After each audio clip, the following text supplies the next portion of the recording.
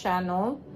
I am Yadi G Crafty. If you guys have not subscribed to my channel, please do so, guys.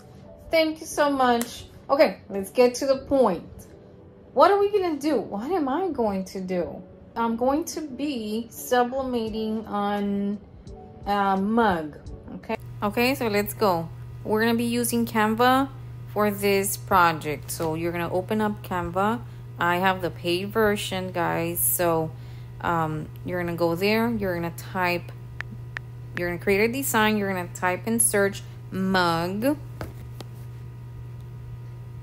and you're gonna have, I love this because you have the little mug template there and like little mug up you're gonna look or create your own design or you can use any of those right there again this is not for selling this is just for my coffee bar I had created a design for my um, coffee bar sign.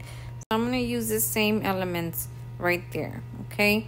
So again you go to elements and you choose and, and search for the the things you're gonna want in your design so again my theme for this year it is uh, squirrels. And um, that's what I'm creating right there guys. If you have not watched my video please do so guys. Sublimating on wood. So I did use the same design that I used for my um, coffee bar sign. So again I'm adding those elements the ones that I have previously used for my sign. Okay? And again just a reminder this is just for myself is not for selling. Okay? Um, I have the pro version. Again right there I'm going to be adding the text which later you can change the font the color and there now be adding the font um, so it's going to say go nuts for coffee Okay, I'm staying with the theme that I have for this uh, year. You can choose from many different fonts that Canva has for you. Now I'm going to effects. I'm going to change, um, I'm going to go with curved um, letters. Quick reminder, if you have not subscribed to my channel, please do so at Yadi G Crafty. Okay, now I'm going to change the color of my font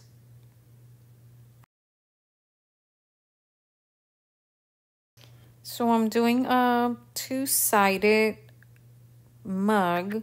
So I already created the first, uh, the front part, and now we're going to do the back. Very easy. All I want to add is his. Okay, so I'm going to be creating two mugs, his and hers. So I'm just adding the text.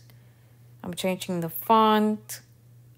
I am going to be adding a, a few more elements into the design. So there you go. We have the front and we have the back. Now we are ready to download. So make sure you download as PNG. I have the Pro version, so I'm downloading with a transparent background. Now I am downloading the second design PNG transparent background. Now that you have downloaded your two designs, we're going to go up to Cricut Design Space. You're going to go to Home. This is what you will be seeing in your screen. We are going to search and type Mug Design Setup. Mug Design Setup. And you have so many different designs and templates that you can use but I'll be using the first one there, which is the design setup. Now we are going to choose from different sizes that they have available. I will be using the 12 ounce Cricut mug. And again, they have the 15 ounce, the 10 ounce mugs. And they have different, like the edges. So I'm going with the small straight edge 12 ounce mug blank. So we're going to choose that and then you click on customize and it's going to take you to your cam to your Canva. So this is the template that we will be using Up next, we go to the bottom, we click upload, select photo from library, click on the design that we had downloaded from Canva. We don't have to click on remove background because we did that in Canva. We click on print and then cut. And then this is what we have now. We have the design in our template. We can change the size um, the way you like it to be on the mug. And it's very neat because we can actually see where is the center. Now I am going to upload the second design. Again, go to upload, select um, design from your photo library. We don't need to remove the background as we had done it before. Name your image and then you click um, save and it will be in your Canva. Again, you do the same steps. You can change the size and move it to where you would like it to be on your mug.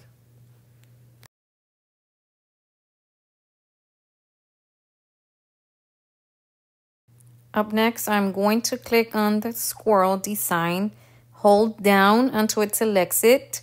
You're going to do the same thing.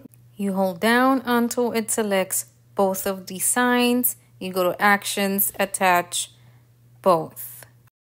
Then you go to layers. You go to the teal one and you click on hide it.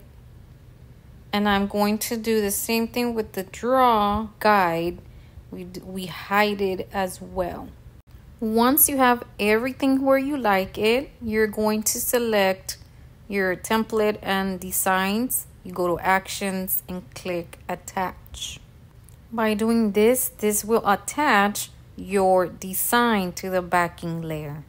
And then you click on make it and this is and it's ready to print. Make sure that you mirror the design before, then you click send to printer. Thanks for watching and see you next time.